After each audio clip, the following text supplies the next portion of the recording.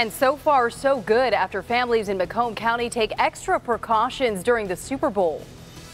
The concerns were high. A mad rush to the restroom at halftime might overwhelm the 15-mile sewer interceptor collapse. Now tonight it looks as though residents in the affected area paid attention to all the warnings and it has paid off. Local 4's Rod Meloni is live in Clinton Township with uh, what is a good news story. No problems out there, huh, Rod?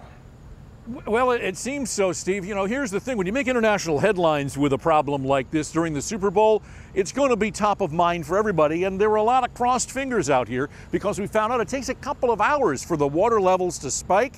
Well, it's been about two and a half hours. And even though there's been activity out here and the air quality has really gone down, they say everything's going to be fine. Grandma Andrea and Grandpa Tom Smoots hosted the family Super Bowl party in Sterling Heights. Everyone you see here lives in the 11 city water warning zone. So grandkids, cousins, and dogs enjoyed together time along with a tasty buffet. The adults played poker and reviewed prop bets. Bill Belichick is not wearing a gray hoodie, so I'm up on one there too. Go! And this is a vastly different game than in years past. The bathroom quite tiny for the task. So Tom has a little saying. If it's yellow, let it mellow. Well, you can imagine how the rest goes. We'll leave it at that. Andrea told us it's really about retraining the little ones. We, we don't flush the toilet all the time. We went to paper plates, cups, disposable items, that kind of thing.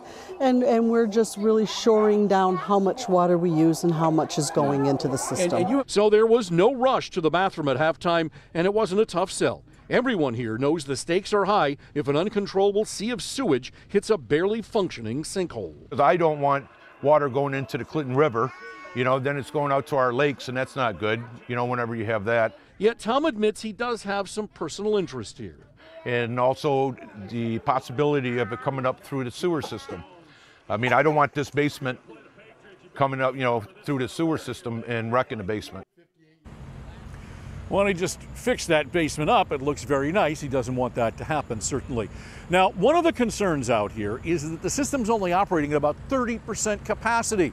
And with that, any kind of a spike at all could be a problem. And yet, as it stands right now, they're in the clear. Back to you. Wow. Well, Rod, if, if they're running at 30% capacity, I got to believe the threat is not over for those communities if there's still being problems. No. Well, and in talking to the Smoots family tonight, they know that this is not a one day thing, that the Super Bowl was not an isolated event. Tomorrow is Monday morning rush hour, and everybody's concerned that if you forget all of these things, that you could still have a problem tomorrow. So they want to make sure that everybody sticks to it because they're talking about a year before this thing is over.